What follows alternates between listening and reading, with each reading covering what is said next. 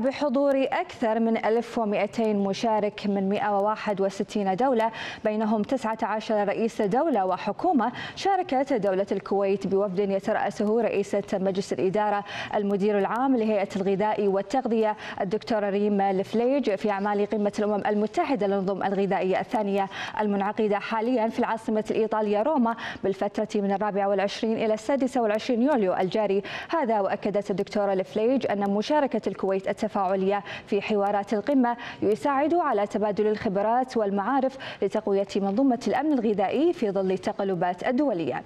وقالت الدكتورة الفليج أن دولة الكويت تشارك في هذا الاجتماع الهام لتقييم ما وصلت إليه حوارات النظم الغذائية التي بدأت في القمة الأولى العام الماضي حيث كانت دولة الكويت من أوائل الدول التي قامت بإعداد وتنظيم ثلاث حوارات للنظم الغذائية على المستوى الوطني وخرجت منها العديد من التوصيات التي أوجزتها الهيئة العامة للغذاء والتغذية في التقارير الثلاثة المقدمة إلى منظمة الفاو آنذاك.